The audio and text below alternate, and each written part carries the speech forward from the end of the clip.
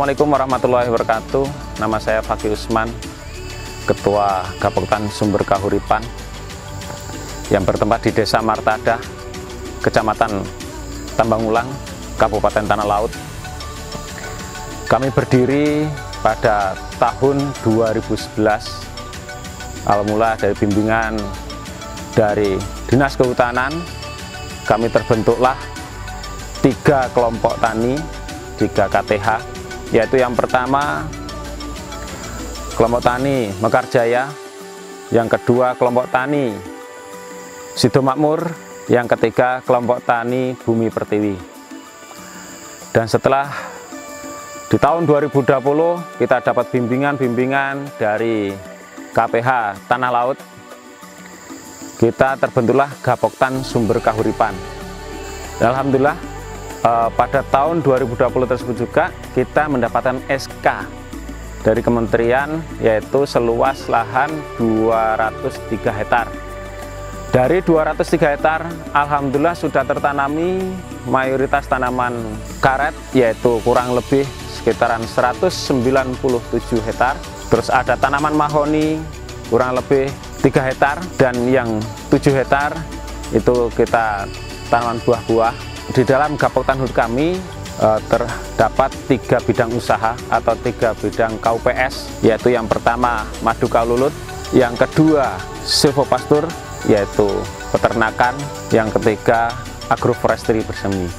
KUPS madu kalulut kita Alhamdulillah kita mendapatkan hibah dari KPH 10 stok dan Alhamdulillah juga sudah menghasilkan di masa produktif kita Alhamdulillah sudah rata-rata dalam satu bulan kita mendapatkan 2 liter dan untuk proses penjualan juga Alhamdulillah sudah ada naungannya sudah lancar terus yang kedua yaitu untuk KUPS Silvopastur kita punya dua ekor sapi yaitu dari bantuan Bank Pesona, hibah Bank Pesona. Dari dua sapi tersebut kita gembala, kita rawat bersama-sama dengan anggota-anggota kami, anggota Gapoktan.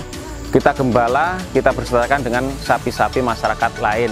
Yang ketiga, KUPS Agroforestry, anggota 20 orang. Kami dapat bimbingan dari KPH Tanah Laut dan juga kita kerjasama dengan perusahaan-perusahaan yang mengikuti program rehabilitasi DAS yaitu berupa tanaman kayu manis yang ditanam di sela-selanya karet kita dan Alhamdulillah hasil produksi karet kami itu juga kita kerjasama dengan perusahaan PT Brigstone Kalimantan. Alhamdulillah kita bisa kontrak dengan Brigstone dan hasil kami melakukan penyadapan pemanenan. Kita cukup mengumpulkan di TPH mereka sudah mengambil hasil kita. Dicek kadar kering saling transparan dan harga juga lebih tinggi. Dengan harga yang lebih tinggi otomatis kita akan lebih sejahtera. Dan Alhamdulillah hasil produksi kita dikelola oleh Brigistone Alhamdulillah mendapatkan hasil yang baik. Kualitas karet kami disampaikan kualitas R1 R1 itu adalah bahan baku ban pesawat. Dan dari tiga KUPS kami KUPS agroforestry inilah yang bisa menunjang yang bisa menghasilkan keuangan perekonomian anggota kami sehingga uh, anggota kami bisa tercukupi untuk perekonomian setiap hari-harinya dengan mengikuti lomba Warna Lestari ini kami berharap bisa memotivasi kepada kelompok tani hutan yang lain bahwa menjadi kelompok tani hutan itu bisa meningkatkan perekonomian yang luar biasa. Demikian dari saya, Akhir Kalam. Assalamualaikum warahmatullahi wabarakatuh.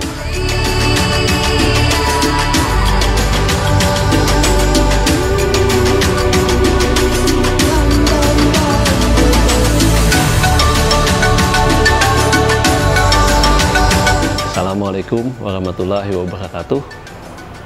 Sehubungan dengan uh, adanya Lomba Warna Lestari tingkat nasional tahun 2022, dalam hal ini kami di KPH Tanah Laut akan mendukung penuh terhadap Gapoktan atau gabungan kelompok tani hutan sumber kahuripan yang mana telah mewakili Provinsi Kalimantan Selatan dalam kategori hutan kemasyarakatan yang akan dilombakan lagi pada tingkat nasional depan. Seperti yang kita ketahui Gapoktan atau gabungan kelompok tani hutan sumber kahuripan itu berdiri sejak tahun 2017 ya dan telah mengantongi izin perhutanan sosial pada tahun 2020 dengan total luasan sekitar 203 hektar ya dengan anggota sebanyak eh, 57 orang di mana dari 57 ini terdapat 13 orang perempuan sehingga Gapoktan ini memperhatikan juga kesetaraan gender dan uh, Gapoktan ini telah mengikat kerjasama ya dengan PT Bergistun Indonesia Plantation sejak tahun 2019 di mana hasil daripada uh, unit usahanya ya itu berupa latex yang ditampung oleh uh, PT Bergistun ini. Tentu dengan uh, sumber daya manusia yang relatif uh, usia muda dan produktif, ya tentu ini Gapoktan ini merupakan salah satu ujung tombak kita untuk pembangunan di sektor kehutanan. Jadi kami dari KPH Tanah Laut sangat mendukung untuk Gapoktan ini untuk maju dan mendapatkan juara satu Lomba Warna Lestari tahun 2022 di kategori Hutan Kemasyarakatan. Terima kasih. Assalamualaikum warahmatullahi wabarakatuh.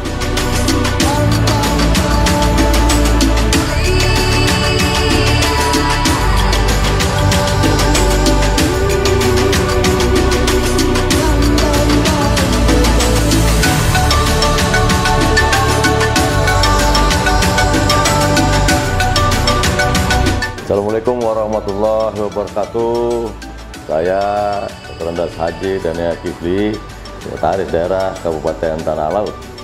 Saya sebagai Sekretaris Daerah Kabupaten Tanah Laut memberikan apresiasi terhadap keberadaan hutan kemasyarakatan sumber kahuripan dan mendukung penuh keikutsertaan Gapoktan Sumber Kahuripan binaan Dinas Kehutanan Provinsi Kalimantan Selatan melalui UPT KPH Tanah Laut dalam Lomba Warna Lestari tahun 2022 tingkat nasional untuk kelas lomba hutan kemasyarakatan. Hutan kemasyarakatan yang dikelola oleh gabungan kelompok tani sumber kahuripan di Desa Martadah, Kecamatan Tambang Ulang, Kabupaten Tanah Laut sebagai pemegang izin usaha penempatan hutan kemasyarakatan dengan luas area 203 hektar. Gapoktan ini berdiri sejak tahun 2017 dengan jumlah anggota 57 orang. Hutan kemasyarakatan Gapoktan sumber keuripan ini memiliki keunggulan yaitu mampu menjalin kerjasama dengan PT Brigstone untuk memasok bahan baku latek karet untuk bahan baku utama pembuatan ban pesawat. Dampak dari adanya hutan kemasyarakatan yang dikelola oleh sumber kahuripan yaitu mampu memberikan kesejahteraan terhadap khususnya anggota dan masyarakat di sekitarnya serta melalui pembudidayaan tanaman karet dan kayu manis juga sangat berdampak pada peningkatan kualitas lingkungan di daerah Kabupaten Tanah Laut khususnya untuk penyerapan emisi karbon dioksida. Harapan kami adalah bahwa Gapoktan sumber kahuripan mampu menjadi inspirator yang mampu memotivasi masyarakat tanah laut untuk lebih baik memiliki kreativitas dan berusaha tanpa merusak lingkungan. Sekali lagi selamat kepada Gapoktan sumber kahuripan. Semoga berprestasi, tetap mempertahankan dan berjuang memelihara lingkungan yang baik sehingga masyarakat tanah laut menjadi sejahtera, lingkungan kita terjaga. Assalamualaikum warahmatullahi wabarakatuh.